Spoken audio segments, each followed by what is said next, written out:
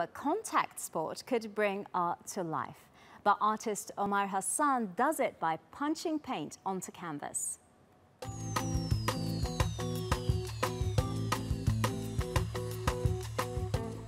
Omar Hassan's youthful passion was boxing.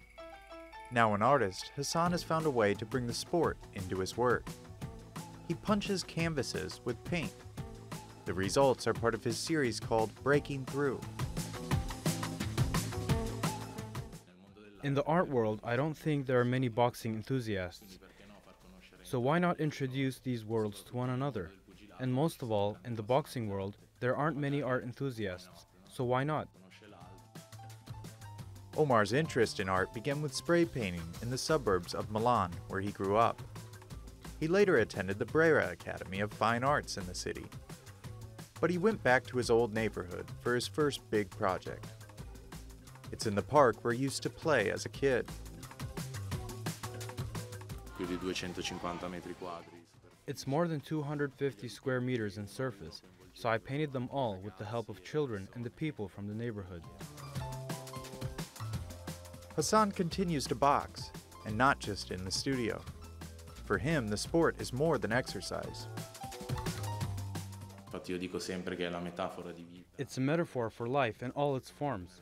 In life, you are alone, you have to fight, you sometimes get a minute to breathe, but you have to get back into the fight. If you fall, you have to leap back up, and that's life. We are all boxers. His work has knocked out visitors to his shows. When you look at the painting and you don't know that it's been done with a boxing glove, you already think it's a beautiful result, something original and unique.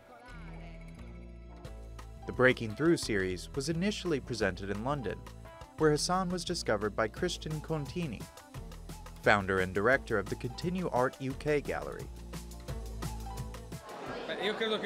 I believe an artist isn't necessarily born great, but becomes great.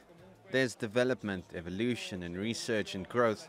So if an artist is already great, he's done. If he has already reached the top, he can no longer say anything to himself or to others. Omar is on an important journey and I believe it will bring him far, farther than what we see in him today.